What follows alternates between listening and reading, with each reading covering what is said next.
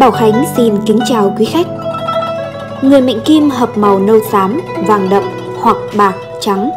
Đây là các màu tương sinh với người mệnh kim. Màu xám bạc, tươi sáng mang đến vẻ đẹp, sự sạch sẽ.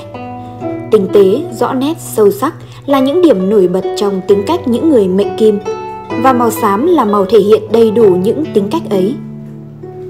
Màu vàng được xem là màu tương sinh của người mạng kim, vì thổ sinh kim, đặc trưng của thổ hỗ trợ đặc tính kim là màu vàng hoàng thổ.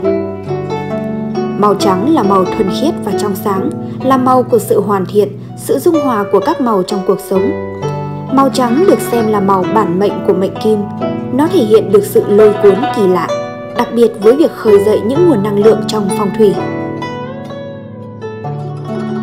Đừng quên theo dõi Bảo Khánh để biết thêm nhiều thông tin hơn nữa về các vật phẩm phong thủy.